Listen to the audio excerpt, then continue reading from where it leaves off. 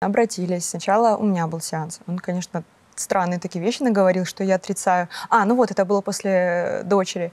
Евочки, что я отрицаю женское начало, поэтому мне посылает Бог, причем он неверующий, он э, атеист, и мне посылает Бог девочек, чтобы я приняла. Вменял вину, что вот только девочки рождаются, что ты отрицаешь. Да, да, что это вот как некое мне некий урок. Потом сеанс был у Димы. Он мне потом перезванивает и говорит, Зая, конечно, все понимаю, ты вообще в себе? И он такой говорит, так, смотрю, он так нервничает, такой, слушай, мне вот интересно, ты где его взяла? Он такой, ну просто как бы человек мне говорит, надо, надо изменять. Ты что, типа дурак? И, и он такой, ну, что он тебе нарекомендовал? И, и начал его расспрашивать, а ты уважаешь свою жену? Он такой, ну, конечно. А не надо ее уважать, она не заслужила, она тебе не родила пацана.